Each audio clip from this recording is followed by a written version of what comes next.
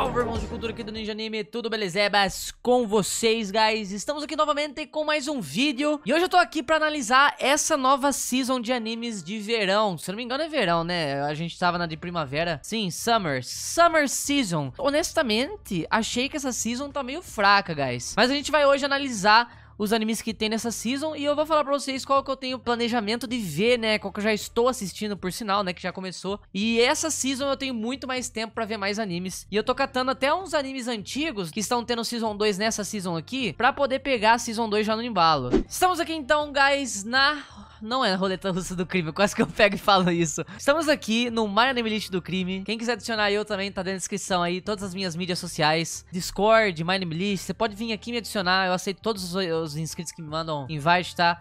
Então hoje a gente vai ver, ler a sinopse dos animes, né? Porque hoje em dia é foda que sinopse não diz muita coisa do que tá se passando pelos animes, né, mano? Mas hoje a gente vai analisar os animes que tá tendo, né? Geralmente é 50 animes, né? 3, 6, 9, é, pra caralho. Não vou conseguir contar até o final, não. Vamos lá começar por Slime. Tem Seishira Bibibi Bobo Slime Season 2, cara. Parte 2, né?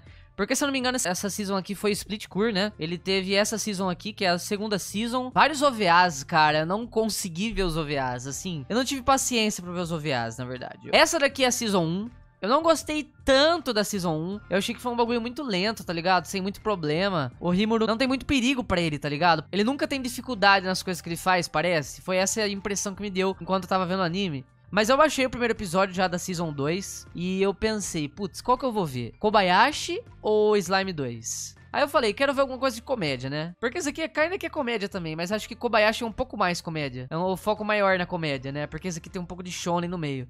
Kobayashi tem Slice of Life, enfim. Tá na meus planos Watch, tá? Eu vou ver a Season 2, mas não por enquanto. Ou, na verdade, eu posso acabar vendo, né? Eu pulei todos os OVAs, eu não, não sei, eu acho que eu não vou ter paciência pra ver OVA de Slime. Eu já tô descontextualizado, tá ligado? Então, justamente, a gente tá acabando de falar de Kobayashi, né? Kobayashi é um anime de comédia da menina lá que faz amizade com a dragão. Eu não assisti a Season 1, estou assistindo a Season 1 agora. Eu vi o primeiro episódio. É um anime que eu pretendo ver, né? Dependendo da Season 1. Como que eu vou gostar dela, né? O que, que eu vou achar da Season 1. Vocês podem ver aqui, guys. Olha esse aqui. Tem muito membro, Slime é muito popular, cara. É, eu vou terminar Kobayashi, eu vou ir pra Season 2 de Slime, e daí eu fico revezando neles, né, porque tem muita coisa pra ver. Então eu vou ter que assistir episodicamente também. Higurashi, Higurashi eu acho que é o reboot, né? Eu acho que Higurashi é o reboot daquele anime psicodélico de Mystery, Demental, Horror, Psychological, Supernatural, Thriller. Aí, achei, ó. Foi em 2006 essa parada, mano. Eu não sei se eu já assisto daqui, ou se eu assisto do reboot. Vocês podem me deixar as dicas aí nos comentários, né, mas tá no meu plano do watch faz só uma cota esse anime, mano. Boku Tachi no Remake. Esse daqui eu tô vendo, né? O primeiro episódio dele teve... Eu não sei se ele teve 25 minutos ou 50 minutos. Na verdade, acho que foi do Tanteiwa. Eu gostei desse anime aqui. Eu achei bem divertido a premissa dele. É um anime de viagem no tempo, né? O protagonista, ele volta no tempo.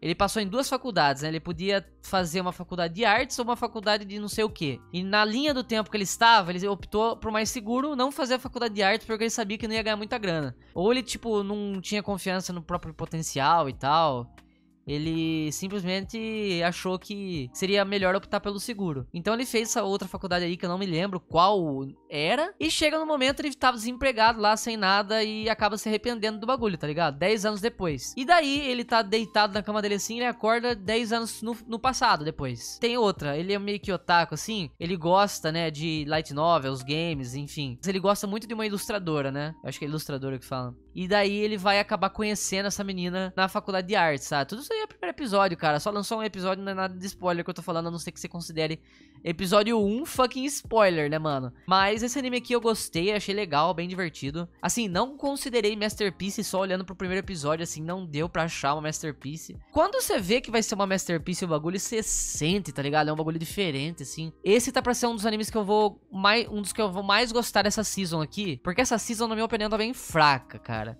Vanitas no Kart. Não sei do que, é isso aqui, mas eu botei no meu plano do watch. Tá aqui as tags, ó. Sobrenatural, vampiro, fantasia, shounen. Um vampiro conhecido como Vanitas, odiado pela sua própria espécie por ter nascido de uma lua cheia azul. Em contrapartida, os outros, né, eles nascem numa lua carmesim. Com medo de estar só, ele cria o Livro de Vanitas, um Grimoire, não, sei, não lembro muito bem o que, que é um Grimório amaldiçoado. Grimório é um livro, né, mano? Grimório é uma parada. Deve ser um livro de magia. Grimório. É o nome. Às vezes eu vou ter que recorrer pro tradutor, foda-se. Um Grimório amaldiçoado que vai um dia fazer a vingança dele sobre todos os outros vampiros. Ok. Ele quer se vingar dos outros vampiros por odiá-lo por ter nascido numa lua cheia azul. Diferente, mano. E ó, a galera tá gostando 100 mil membros pra 7.8. Tá numa média legal. Por isso que eu botei. Na verdade, eu acho que eu vou sair daqui e já vou ver esse episódio, mano. E já anunciaram Season 2, cara. Ah, eu acho que vai ser Split Core. Por isso que eles já deixaram aqui Season 2. Porque possivelmente vai ser Split Core. Então eu vou sair daqui, já vou ver esse anime aqui. Ó, chegamos lá. Tantewa Moshinderu. Tantewa Moshinderu é complicado, mano. Tem essa menina aqui, essa menina de cabelo cinza. Ela é uma detetive. E não tem muita explicação sobre quem ela é, tá ligado? Primeiro episódio ainda, guys. O primeiro episódio já veio com 50 minutos, by the way. Tem esse personagem MC, né? Que é o Kimihiko Kimizuka. Ele tem é, muito azar, assim. Ele se mete muito em encrenca. Então ele tem essa aura de atrair criminalidades, tá ligado? Ele sempre se mete em encrenca. Aí ele tá num avião com essa menina aqui. Aí um cara, né, ele tá meio que assaltando o avião, cometendo um crime lá. Ele falou: Ah, eu vou matar o piloto se você não adivinhar qual que foi o meu objetivo pra estar aqui, né? Daí a menina vai lá, ela descobre o objetivo dele. Só que daí o cara é um ciborgue, né? Um meio ciborgue. Mano, é viajadão, tá ligado? O bagulho... É porque não explicou muita coisa. Ele trabalha pra uma facção secreta, esse meio cyborg, né? Aí esses dois aqui, eles vão lutar contra esse cara, daí depois acabam virando amigos, né? O cara vira o coworker dela. Porque ela pede pra ele virar o coworker. Assim, a galera tava falando muito desse anime, né? Pode TV, 130k membros. E tá com uma nota ok pra 130k membros. Quase 8. A nota vai abaixando quanto os mais membros vêm, né? Provavelmente. Animes com 8, 7.5 de nota, você já pode considerar que o anime é bom. Ou na média, ou ainda que acima da média. Chega no 8, você já pode dizer que o anime é um pouco acima da média. Porque a galera do My Name List é muito... Uh, tá ligado? Então, cara, eu tô achando divertido. Não foi nada assim, uau pra mim, tá ligado? E acabou justamente falando exatamente isso aqui, que é o título do anime, né, ó. Tantewa Moushinderu, quer dizer, The Detective is already dead. Ou seja, a detetive já está morta, né? Essa foi a última frase dita pelo protagonista depois do tempo que ele passou com ela depois de decidir se tornar parceiro dela, né? Então a gente tem aí um episódio de 50 minutos. E no final ele pega e fala, puta, ela morreu. No segundo episódio vai ter um monte de revelações. Então eu curto animes assim, misteriosos, tá ligado? Que não passam o plot dele direto, assim. E vai descobrindo pouquinho em pouquinho, grão em grão. Eu achei divertido e tô assistindo ele. Esse daqui eu gostei demais, mano. É um puta heartwarming. Eu achei bem divertido, cara. Assim, não esperava muita coisa dele. Esse anime aqui, ele tem duas seasons, essa aqui é a segunda. É um anime dessa protagonista aqui, a Katarina Klais. Ela, na verdade, é uma pessoa que foi pra um Isekai, né? Então, ela tava lá com a amiga dela, né? Na escola. Ela não tinha muitos amigos na escola. E ela acabou morrendo num acidente de caminhão do Isekai, né? Todo mundo já conhece o fucking caminhão do Isekai. Então o caminhão do Isekai lá passou em cima dela, ela morreu e acabou indo pro Isekai de um jogo que ela mais gosta, que foi um jogo emprestado por essa única amiga dela que ela fez enquanto estava viva, né? Então, o Isekai justamente é um jogo de... É um visual novel, se eu não me engano, só que pra mulheres, né? Como que chama? Quando é um jogo focado em mulheres. Mas assim, é um jogo que você vai conquistando os príncipes lá e tal. E justamente a Catarina Klais ela é a vilã desse jogo. Então ela foi encarnada na vilã do jogo. Ela desenvolve junto com o anime também, né? Ela vai começar jovem, né? Tipo, criança.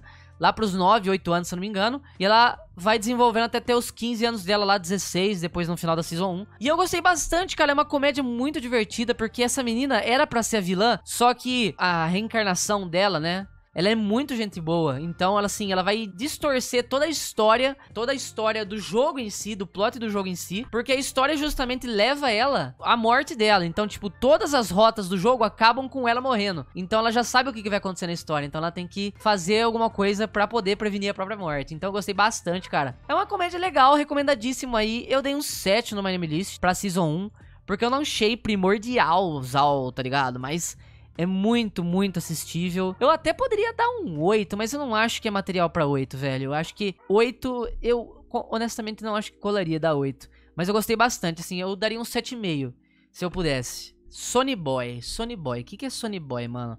Ó, salas de aula vazias, dias tediosos. Era pra ser uma viagem de verão normal, como qualquer outra. De repente, a escola começa a ir para outra dimensão. E 36 meninos e meninas são jogados lá e desenvolvem habilidades sobrenaturais. E no meio de uma piscina de questões, né? Eu acho que é piscina isso daqui. Que vem para a mente dos protagonistas, né? Das pessoas. A sobrevivência em um mundo sobrenatural começa. Caramba! Pô, eu achei divertida essa premissa, mano. Ele era o anime que tava com mais rating até então, antes de chegar os raid bosses, né? Antes de chegar esse daqui, esse daqui, esse daqui. Esse daqui que ficou muito acima depois do primeiro episódio. Tanto o Amoshinderu, todo mundo tava querendo ver também, né? Porque gostaram do trailer, talvez. Eu não, eu não fiquei sabendo até eu bater a cara aqui. Mas na verdade eu vi algumas, algumas coisas no YouTube antes, na verdade. É, eu vi algumas coisas no YouTube. E a galera parece que tava gostando bastante da premissa, né? Vou botar o Sony Boy no meu My Anime List, no meu plano do Watch. Terceira season de Idolish 7. Puta, cara, aí é foda. Eu não vou pegar anime de terceira season, não, mano. Remain, Remain. Vamos ver se Remain aqui. Eu acho que eu vou descer, guys, até parar o 7, porque eu não considero animes abaixo de 7. Aí é foda. A história é centralizada em Kiyomizu Minato. Um garoto que desistiu waterpolo. O que, que é waterpolo? Deve ser uma, um esporte na água, né? É um garoto que desistiu de jogar waterpolo depois de um incidente durante a uh, Winter, eu não lembro o que, que é. Winter é primavera, verão, outono, inverno, inverno, eu acho. Depois de entrar no colégio, ele faz uma promessa e decide tentar, né, o esporte que ele joga lá de novo. E ele entra num time com seus amigos da escola, né, num time da escola com seus amigos. Porém, a nova equipe vai se deparar com problemas durante o caminho. Cara, esse daqui tá com cara de ser Slice of Life do caramba, mano. Honestamente, guys, eu não me interesso muito por animes de esporte, falar a verdade pra vocês, tá? Então, por enquanto, não vai vir pro meu, pro meu plano do Watch daqui, não. Tsukigami Chibu Sekai Dochu. Aventura, comédia e fantasia. Fantasia centraliza ao redor de Mizumi Makoto, um garoto mediano do colégio, né, que foi invocado para um mundo alternativo como um grande guerreiro. Infelizmente, a deusa do mundo disse para ele com desprezo: "Seu rosto é feio". Tirou o título dele e baniu-o até as extremidades da floresta selvagem, algo assim. Enquanto perambulando na selva, Makoto encontra dragões, aranhas, orcs, dwarves todos os tipos de criaturas não humanas. Dada a diferença do environment, eu sei o que é environment, mas eu não lembro. Caralho, velho, vai começar já eles testarem o meu português é mais fácil eu falar inglês direto aqui pra vocês, tá ligado? Devido às diferenças do ambiente do seu mundo nativo, né? Makoto agora exibe de poderes extraordinários de magia e combate. Dessa forma, ele sobrevive no mundo enquanto ele tem que lidar com vários é, problemas, né? Encounters é um pouco diferente, né? Porque assim, a menina exilou ele já direto depois que summonou ele. Então, vamos dar uma chance? Vamos dar uma chance. Uramichi Onisan. Eita, o Nissan, o nome é perigoso, hein, mano. Esse aqui é de Slice of Life Comédia, guys. Eu vou deixar aberto pra eu ver o teaser depois, que a gente já tá ficando muito extenso nesse vídeo aqui. Vou deixar aqui só pra ver depois, né, qual é a dele. A gente já tá ficando muito extenso. Vamos pegar alguma parada aqui que a gente se interesse. Outro Isekai, mano. Action militar, harém, magia, romance e fantasia. Caramba, tem muito anime de aranha nessa porra, velho. Tem muito anime de aranha nessa season. Essa daqui parece que a galera tava comentando desse anime aqui, mano. O Duque da Morte e sua Maid. Esse aqui é comédia sobrenatural, drama, romance. Hum, drama eu...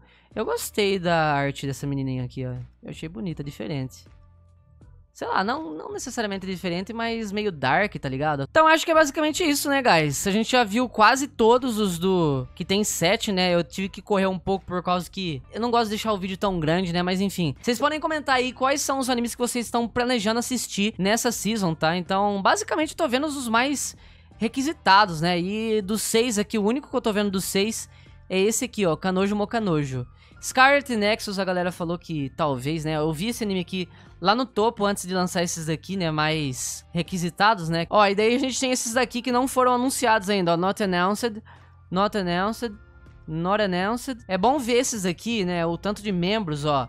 Esse aqui não foi anunciado e tem 60k, mano.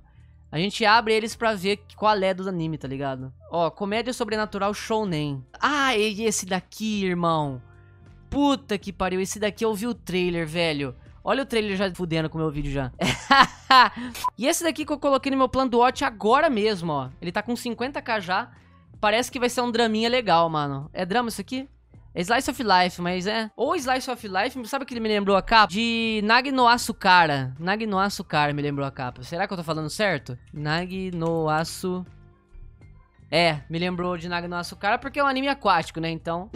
Vou ficando por aqui então, guys. Espero que vocês tenham curtido esse vídeo. Deixem aí nos comentários quais animes vocês vão ver desta season aqui. A última season, guys. Três animes raid bosses, né? Fumetsu no Anatae, Vive, e teve também 86. Se eu não me engano, teve outros também, mas eu não vou lembrar agora. Enfim, a última season teve muito anime bom, não tive muito tempo pra ver, mas eu vi os três World Bosses. Vamos ver o que vai ser dessa season, né? Eu tô acompanhando vários animes dessa season aqui. Espero que eu goste muito de algum, tanto quanto eu gostei de Vive 86 e Fumetsu no Anatae da última season, que foram três mestre peças maravilhosas, cara. E inclusive eu recomendo vocês a darem uma chance pra esses aí também. Se você não viu o meu vídeo, fiz um vídeo sobre os animes, né? Os meus top animes da season de primavera, da última season que teve, né? Então você pode checar esse vídeo aí também. não sei, deixa nos comentários aí. Porque pra falar no card agora já tá muito tarde, né? Já, a gente já vai encerrar o vídeo mesmo. Então, guys, vou ficando por aqui. Deixa o likezão, se inscreve no canal pra não perder o pau. Vai na descrição do vídeo, tem o meu Discord, meu MyNameList. Você pode adicionar no MyNameList, tanto quanto você pode entrar no meu Discord e deixar na seção, no canal de animes, o seu My Anime List para poder avaliar ele, se você quiser participar da série de avaliação. Veja esse outro vídeo que está aqui, e eu vou ficando por aqui então, muito beijão delas, até a próxima, valeu, falou!